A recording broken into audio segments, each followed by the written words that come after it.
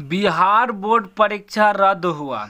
बढ़ते कोरोना को देखकर रद्द कर दिया है बिहार बोर्ड ने परीक्षा।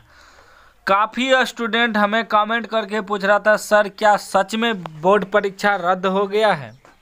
काफ़ी लोग इस पे वीडियो बना रहा है, स्टूडेंट कंफ्यूज कर रहा है। हमें कमेंट पे कमेंट आ रहा था इसलिए दोस्तों, मैं वीडियो बना रहा हूँ कि ताकि पूरी सच्चाई इस वीडियो में मैं आपको बता दूँ। तो बस वीडियो को पूरा ध्यान से लास्ट तक देखिएगा। अगर चैनल पे नए हैं तो चैनल को सब्सक्राइब कर लीजिए और घंटी को दबा के ऑल कर लीजिए। दोस्तों, सबसे पहले यहाँ देख लीजिए आप लोग, एक फरवरी से इंटर और चौदह फरवरी से होगी मैट्रिक बोर्ड परीक्षा। बिहार बोर्ड ने दोस्तों मैट्रिक और इंटर का रूटीन जारी कर दिया है तो बताइए अब कैसे बोर्ड परीक्षा रद्द होगा, आप ही बताइए।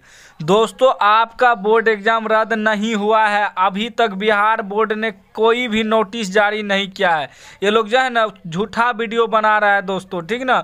बोर्ड परीक्षा रद्द नहीं होगा क्योंकि रूटीन जारी हो गया है शेड्यूल जारी हो गया बताइए डेट जारी हो गया कैसे रद्द हो जाएगा बोर्ड परीक्षा। बोर्ड परीक्षा रद्द नहीं होगा दोस्तों। भले ही सावधानी से एग्ज़ाम देना होगा, मार्क्स लगा के जाना होगा, थोड़ा दूरी बना के रखना होगा, लेकिन बोर्ड एग्ज़ाम रद्द नहीं होगा दोस्तों।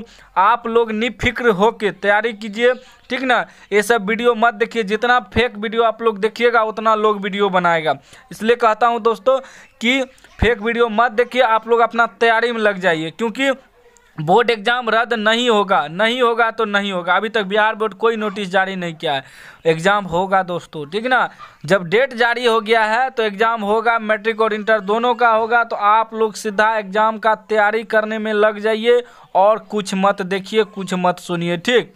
अगर कोई आता है अपडेट बिहार बोर्ड की तरफ़ से एग्ज़ाम से लेकर तो मैं आपको सबसे पहले बता दूँगा, वीडियो बना के अभी तक चैनल को सब्सक्राइब नहीं किया है, सब्सक्राइब कर लीजिए और घंटी को दबा के कर लीजिए।